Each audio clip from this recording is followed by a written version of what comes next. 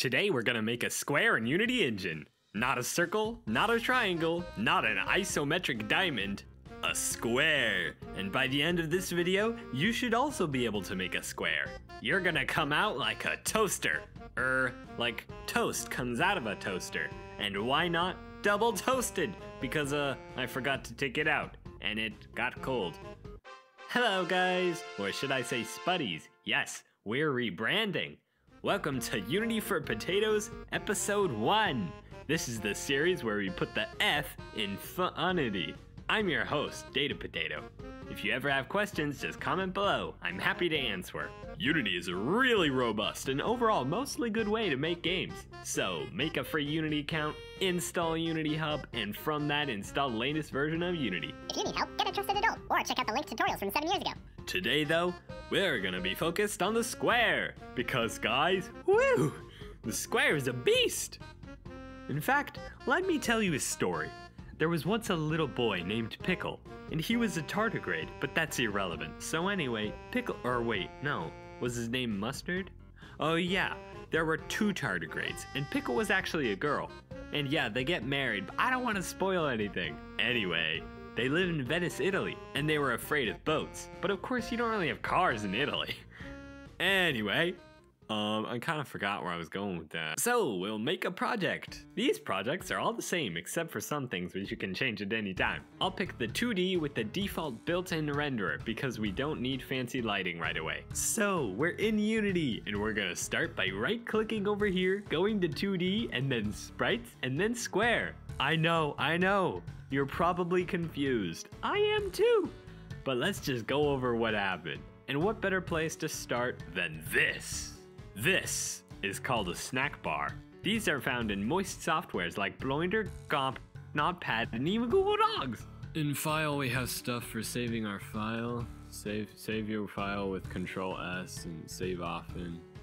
In edit, we time travel. Project settings are for the uh, project settings are for the specific project, and preferences are settings for every project you open. Yay! Okay, we've conquered the snack bar. Mm. Now let's discuss windows. Windows are these thingamabobbers. See, you can move windows around, pop them out, right click for some weird settings, or even hide them at the bottom of the screen to confuse your future self. Wait, where did it go? You can manage layouts here, and you can open new windows with the Windows button in the bar. Now we can go over the windows. Hooray! This is the hierarchy. Funnily enough, it shows all the objects in your scene.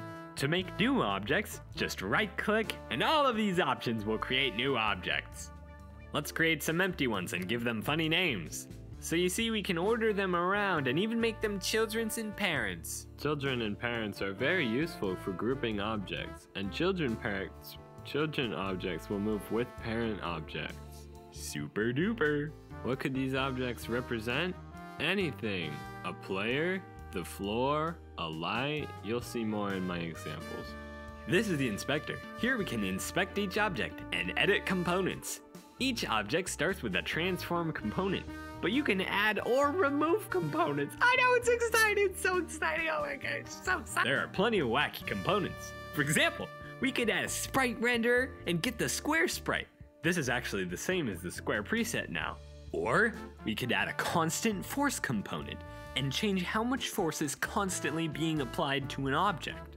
And look, the camera object has a camera and an audio listener component. It's always listening. We can even add custom components, but we'll get to that in the next video. This is the scene view, commonly referred to as Himmy Jimmy's third eye. Here you can see all of the objects. Well actually, you can just see our square, but you get the point. Unlike Scratch, not every object has to be visible. An object will only be visible if it has a reason to be visible. This is most commonly done with a renderer component, but we can click here to give them a little gizmo icon. Gizmos are stuff that you can only see in the scene view, unless you change it, by clicking here. Anyway, you can left click to select object, F to focus, or right click or middle click to wiggle around in the scene view. Oh yes, and lastly we have the project window. This is where all of your game's resources will go, like custom components, or scripts, images, and whatnot. Maybe you have a folder where you keep a ton of your food. So, we got the stuff all done and you've made a thing. But have we really made a square? Or is this an imposter? It's an imposter. I should have seen this coming. There's only one thing to do. We need to delete the square. Oh no, it's not working. We're not strong enough. Luckily, I have an idea. I'm gonna build a monster truck and attach a gun to it. Let's use what we learned. We need a stronger square for our truck base, but I've got a plan that involves quad exercises so we don't get wrecked. Just save that image, drag it into Unity, drag it into the game, add a box collider for collision, and a rigid body 2D for physics. This guy's shaping up to be a real muscular dude, but it needs a floor. Luckily, we can create an Earth-shaped object and make it blue with the sprite renderer component. We also need wheels. I'm custom making them in Photopea because they need to be as smooth as possible. Uh, thankfully, I'm a master artist. Now we just need to attach our wheels to our car. Fortunately, I know just the component a wheel joint 2D. And by creating physics materials 2D and putting them on the colliders to change the bounciness, We can create a machine that increases the speed of our truck. Oh no! Oh, we're falling! No! Ah. Our monster truck is really good, but it's not strong enough. We may have lost the battle today, but in my next tutorial we will learn how to make custom components, as well as some essential functionality that may allow us to delete this evil square once and for all. With our weaponized monster truck. Stick around for more tutorials. This is my first one, so hopefully I'll improve. Feel free to leave feedback or questions, yeah. Farewell, viewers. I'll see you next time. Have a good day, and don't forget to save your work. Data Potato out. Out, out, out, out, out, out. Super duper. Super duper. Super duper.